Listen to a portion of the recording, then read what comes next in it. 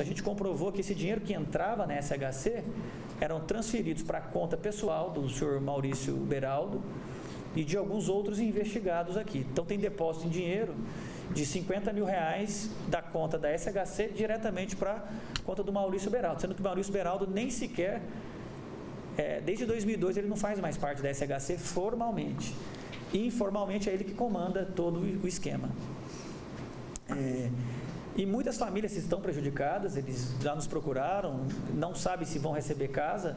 É, nós vamos tentar fazer essa interligação com a GEAB para identificar quem que de fato já está é, beneficiado nessa segunda, e se tem mesmo de fato a terceira, até então não tinha, eles não nos informaram, falaram que não tem previsão nenhuma, que nem sequer entregar a segunda etapa. Os crimes praticados, além de uma possível e provável organização criminosa que já está bem delineada, com divisão de tarefas, nós temos também a corrupção passiva e que são alguns estelionatos, dependendo do caso.